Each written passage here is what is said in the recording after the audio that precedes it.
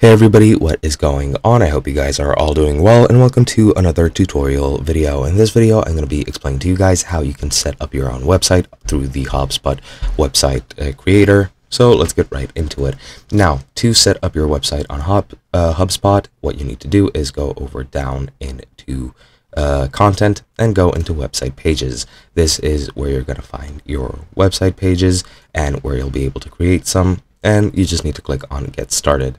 Now, as you can see, you can select whichever template you would like. I'll select this one just because it doesn't matter which one you pick. You need to choose depending on your own wishes, and then you'll get your template. You can edit it by clicking the plus and add module sections or layouts. You can add other contents. You can optimize the page. You can test the page, and you can also now create a site navigator but that is pretty much what you can do and that is completely up to you now you can customize it for desktop and mobile as well uh, depending on your wishes and once you're done making any changes you need to publish it now to publish it uh, you do need to have a page title so i'll just name it test and you also well, that seems to be it. I'm not sure what the other issue is, but it seems to have went away once I created the title. So now all that's left is to just click publish.